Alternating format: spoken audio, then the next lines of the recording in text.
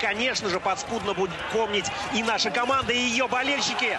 Э, там процент был не запредельный, но вот сейчас э, еще одна результативная российская атака. И на